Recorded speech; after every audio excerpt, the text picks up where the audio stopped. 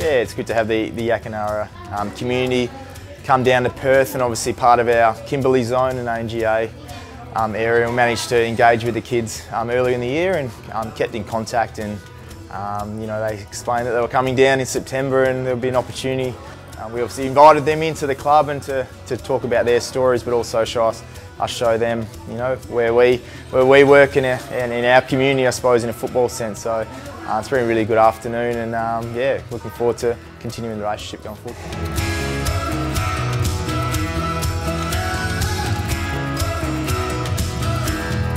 Love these environments where they come out of country. It's, the country's completely different, uh, and they're looking at with with a lot of awe and enthusiasm, and see the club that they see on TV, and meet people like Dale, the presidents, and these sorts of things are very important for the kids because when you're a kid, you always remember what you've done, and that follows you for the rest of your life.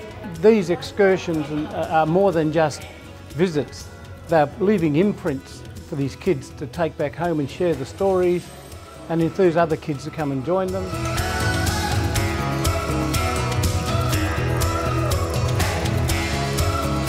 One thing you learn about, you know, about being up in the Kimberley, particularly in the remote communities, which you know, Yakanarra is, is remote and um, is footy can be played anywhere. You know, it doesn't need grass, it doesn't need, you know, pumped up beautiful Sherrin. Just anything can um, can be used and I think it's the one thing that you do notice up there, the, the love and you know for football and love for sport. So um, ties in really well with what we're trying to do through our football academy, and um, you know it's it's great to be able to see them come down and, and smile and enjoy you know our facilities as well.